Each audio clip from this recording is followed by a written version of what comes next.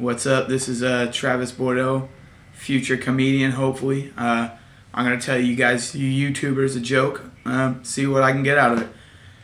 Uh, so, times are hard, and I was talking to my friends the other day in Taco Bell, and one of them was like, Man, I wish I had a time machine so I could just like take back the blueprints of a car.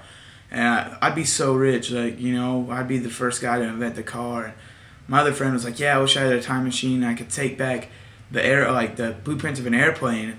I, man, I'd be the richest guy in that time. And, you know, we were sitting there talking, and uh, I was like, yeah, I wish I could uh, build a time machine and take it back in time and show everyone my, my time machine, because in the future I would have been the guy who built the time machine, and in the past I would have been God. I mean, that's how Jesus did it.